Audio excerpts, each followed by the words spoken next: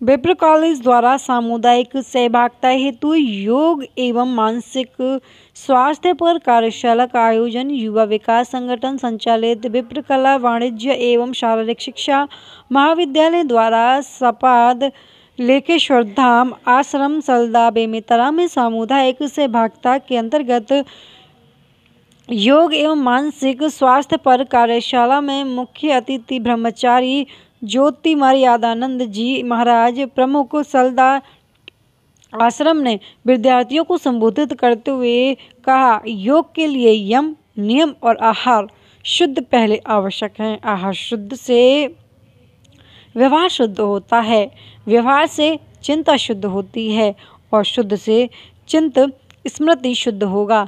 जिससे हमारे कर्म एवं विचार शुद्ध होंगे तो तभी जीवन में योग संभव है। इसके लिए भोजन में, देखने में, बोलने में, सुनने में, चलने में, सब में अनुशासन आवश्यक है।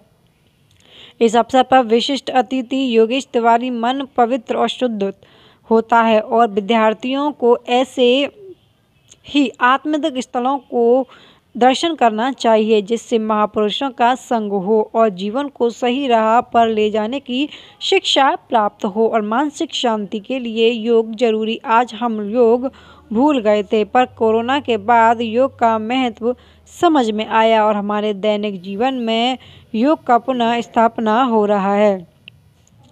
इसलिए ऐसे पवित्र एवं सात्विक स्थलों में आकर योग की साधना आवश्यक है। इस अवसर पर जोशी मठ के ब्रह्मचारी सर्वभूत हरियानंद महाराज ने विद्यार्थियों को सफलता की सीख देते हुए बताया कि असफलता ही सफलता की जननी है। सोच छोटी तो लक्ष्य छोटा होता है और सफलता भी छोटा होता है। बड़ा सोचो तो लक्ष्य बड़ा होगा और बड़ी असफलता के बाद ही सफलता मिलेगी। रायपुर के मध्य में स्थित है। वहाँ से कला वाणिज्य, स्वास्थ्य संकाय से डॉक्टर ब्रजेश तिवारी जी वहाँ के जो प्रधानाचार्य हैं, उनके द्वारा स्वास्थ्य शिविर के रूप में योग शास्त्र संबंधी वहाँ के बच्चे आए थे और आकर के अपने जीवन की जो उपयोगिता है कि कैसे हम आगे बढ़ें ताकि हम समाज को क्या दे सकते हैं। तो योग की क्या भूमिका है उसमें? इस योग के सानिध्य में रह करके, योग से आश्रित लेकर के, योग के अनुसार अपने कर्म को धारण करके कैसे समाज को व्यवस्थित करें, हम कैसे व्यवस्थित हों और अपने को कैसे व्यवस्थित करें, इसके लिए एक शिविर रखा गया था, जिसमें भाई योगेश तिवारी जी कर्मचारी से सर्वभूत जी और वहाँ के जितने प्राध्यापक हैं, आए थे योग का एक अच्छा कार्यक्रम था।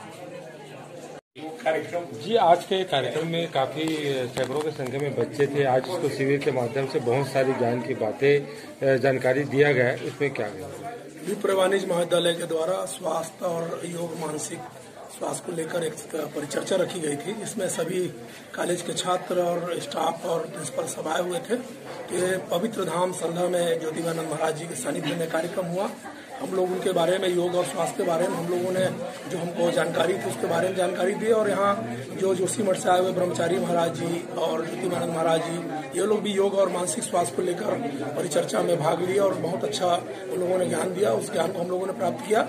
और बच्चों को खास करके बीएड के छात्र हैं और छात्राएँ आए थे, क्योंकि भविष्य में इनको आगे बढ़ना है और टीचर के रूप में लोगों को शिक्षा देना है तो उसकी जानकारी इन लोगों ने प्राप्त किया है और हम लोगों ने उनको जानकारी दी है। बहुत अच्छा कार्यक्रम था, ऐसे कार्यक्रम होते रहना चाहिए।